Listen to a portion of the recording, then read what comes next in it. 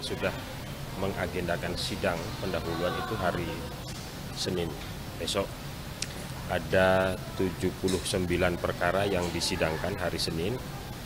Selasa itu 53 nanti yang Rabu dan Kamis kita jadwalkan dalam waktu dekat ini.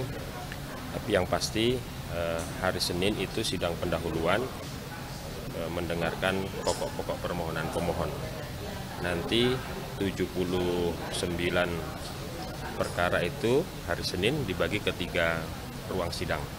Tiga panel satu di ruang sidang pleno. Kemudian eh, yang kedua itu di ruang sidang di lantai 4 di gedung ini. Kemudian yang ketiga di gedung 2 sejauh ini kita sedang bersiap menyelenggarakan persidangan pendahuluan